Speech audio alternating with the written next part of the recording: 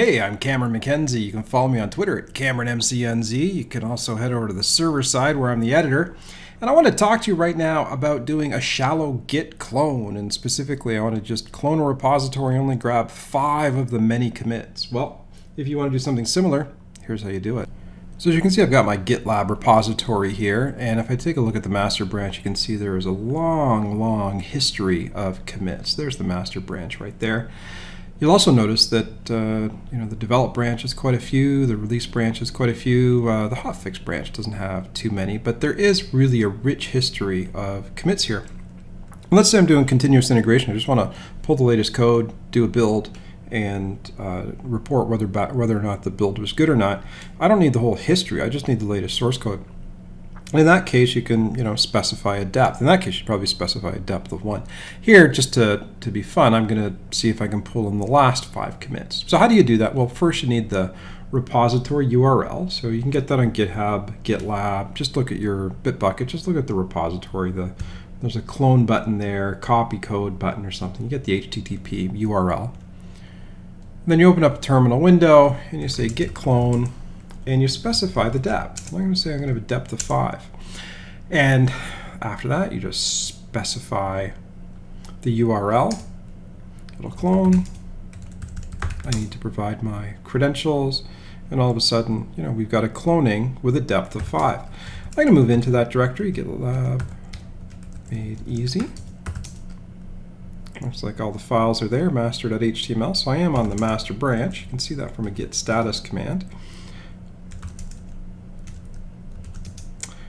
I'm on the master branch. The other thing that's interesting is that if you do a git branch all, you notice that I haven't actually brought down a reference to the other three branches. Right, I'm doing git flow here. So I have a hotfix branch, I have a develop branch, and I have a release branch. But none of those were brought down, and it only brought down the master. Now you can't specify the branch. You could say, you know, dash dash branch, and then specify that you want um, the develop branch. But the point is, when you do this this shallow clone, you're only getting the branch you specify by default master and the number of commits that you specified. Oh, I haven't even taken a look at that. So let's do a git log. Let's make it look like the ref log. And there you go. Count the commits. One, two, three, four, five.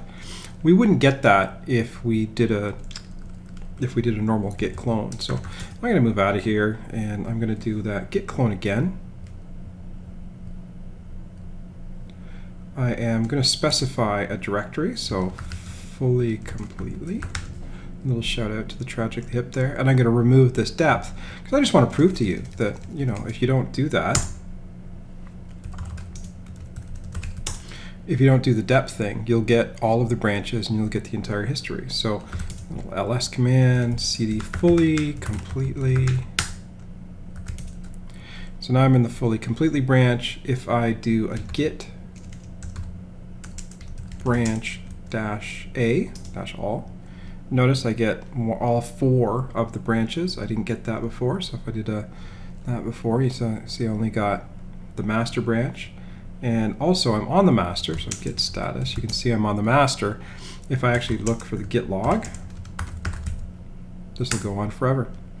Okay, maybe not forever, but certainly went on for more than five commits. So anyways, there you go. That's how you do a shallow git clone. And that's how you do a shallow git clone. By the way, if you're interested in more Git, GitHub, server-side tutorials, methodologies, what have you, head over to theserverside.com, the editor-in-chief over there. So we've got lots of tutorials and information. And uh, if you want to follow along with my antics, follow me on Twitter at CameronMCNZ.